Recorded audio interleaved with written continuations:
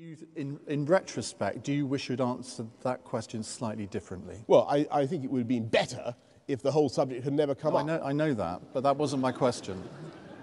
Uh, well, no, because what, no, because what I was trying to say.